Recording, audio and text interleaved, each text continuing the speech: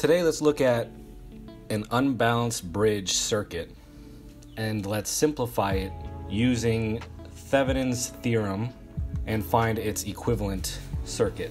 So we have R1 here, R2 is the 1.2 k ohms, R3 the 9.1, and R4 for the 11 k ohms, and then R5 will be this middle resistor, and that's going to be our detector branch. So for this circuit, we have two nodes we're looking at. We have node 1 here and node 2 here. Let's find the Thevenin resistance to the left of node 1. So let's take these two resistors and find their Thevenin resistance.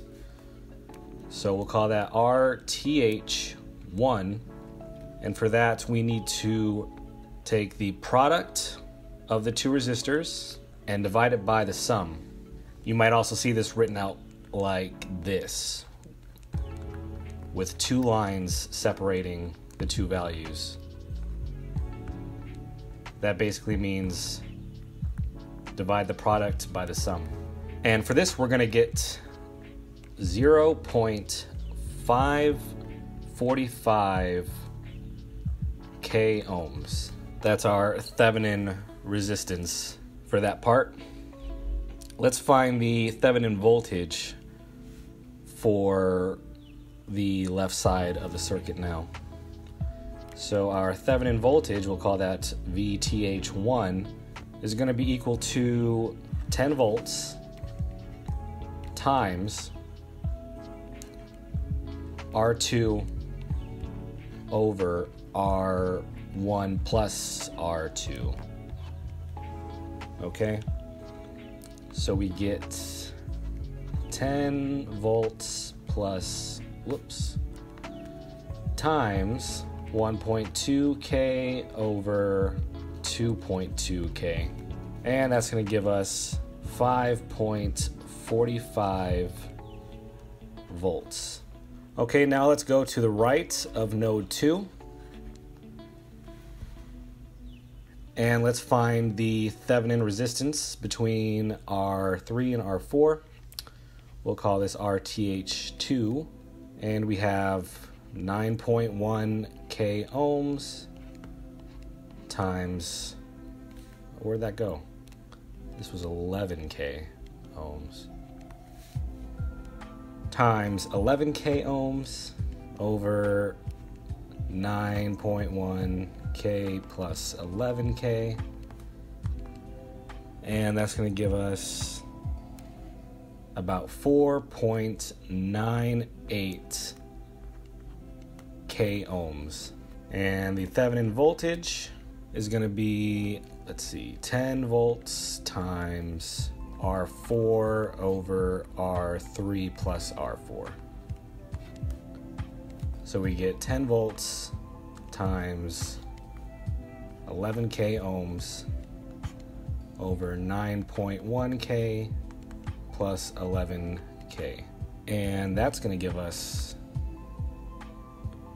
5.47 volts.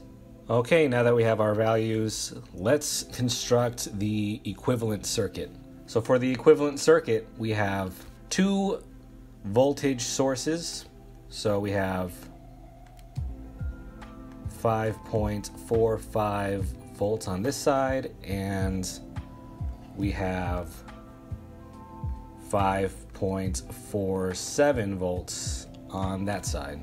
Then we have our RTH1, our first resistor, 0.545 kiloohms. And on this side, we have 4.98 kiloohms. And then we also have to include R5, our detector branch. So that's going to go in between, and that is 2k ohms. So we have our equivalent circuit here. Now let's see if we can find the current through R5 through our 2k ohm resistor. So our current is going to equal, well, it's going to equal V over R. It's Ohm's law. So our total voltage is going to be 5.47 volts minus 5.45 volts. And then our total resistance for the circuit, since we have three circuits in series, all we have to do is add them up 0.545K plus 2K plus 4.98K. And that's going to give us about 2.65 microamps. Now let's solve for the voltage through R5. So we have our current, that's 2.65 microamps, so it's going to be 10 to the negative 6 amps times R5, 2000 ohms. And that's going to give us about 5.3